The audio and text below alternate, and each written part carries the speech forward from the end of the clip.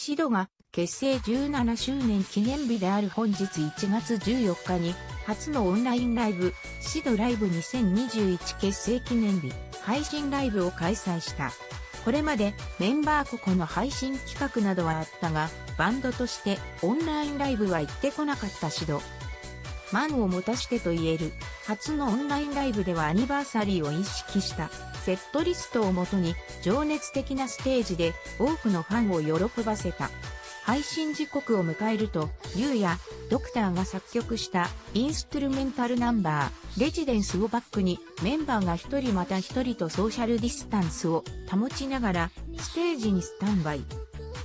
最後に現れたマオ、ウヨウはまっすぐにカメラを見据えると、見ているファンを歓迎するように両手をゆっくりと広げた。それを合図に、シンジ、G の弾く霊を帯びたギターからオープニングナンバーの涙雨へ。4人はファンへの思いを歌詞で表現したナンバーを1曲目に据え、ドラマチックにオンラインライブの幕開けを飾った。続く、アリバイでは、マオがファンのシンガロングが起こるパートで耳を澄ませる仕草を見せ、アキ、ビート、ユーヤもカメラ目線でアピールするなど、チャーミングな仕草で視聴者を沸かせた。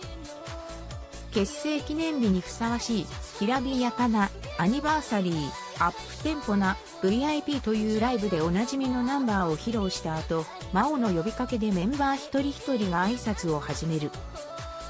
シンジは、配信ライブは初めてで、とても緊張してるんですよ。配信ライフだったら2000年の初期くらいからメジャーデビューしてるんですけどと冗談を飛ばしつつ、久しぶりのライブで元気な姿を見せたいと思ってるので、今日1日よろしくお願いしますと述べ、秋は皆さんのいる場所はお家かもしれないけど、心は間違いなくライブハウスにあると思います。今日はたっぷり、シドの世界にみんなを誘って最高のライブにしたいと思いますと意気込む。ゆうやは明けましておめでとうございます。と元気いっぱいに叫び、気合を入れるために4年ぶりに赤と黒を基調とした髪色に戻したことを報告。しかし、しばらく秋に気づいてもらえなかったことを暴露し、ファンにはすぐ気づいてもらえたと笑った。さらに、お家だと声が出せると思うので、思う存分叫んでくださいと視聴者に呼びかける。真央は、コロナ禍で会えないファンに向けて新曲を作ったことを明かし、その中の一曲である声色を歌い始めた。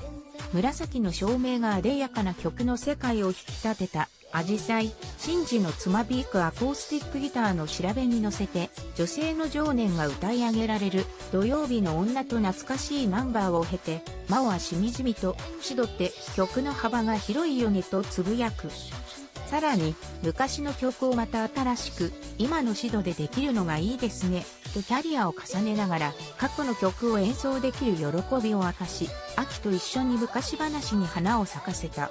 その後、マウのこの曲をきっかけに、俺たちのバンド人生は大きく変わったと思います。すごく大切な曲ですという紹介から、モノクロのキスが披露された。2008年にリリースされたメジャーデビュー曲から新曲サイレンにつなげるという流れを経てライブは循環で後半戦に突入。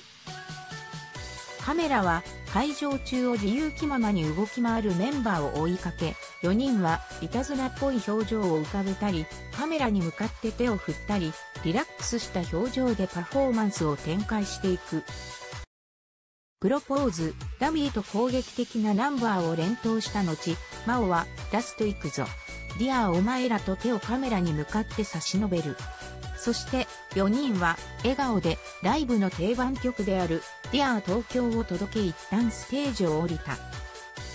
再びステージに戻ってきたメンバーは、アンコールの1曲目として、ファンの歌声とともに、その未来へをプレイ。曲のクライマックスでは、シンジ、アキ、ユウヤもコーラスに加わり、優しいハーモニーを響かせた。温かな余韻の中でマオは、早く、みんなに会いたいです。乗り越えようね。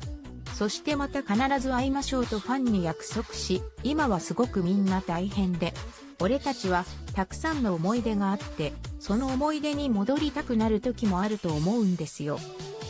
だけど現実は戻れないので、戻れないのならゼロを楽しんでいきましょうと、コロナ禍の中で生まれた、ほうき星をパフォーマンスした。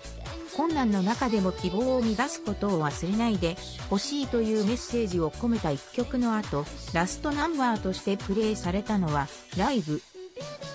現在はファンとの仰せの場であったライブができない状況ではあるが、4人はいつかまたライブ会場で再会できることを約束するように、ここでまた会おう約束を交わせたら果たせる、その日までというフレーズに力を込め、結成記念日ライブに幕を下ろした。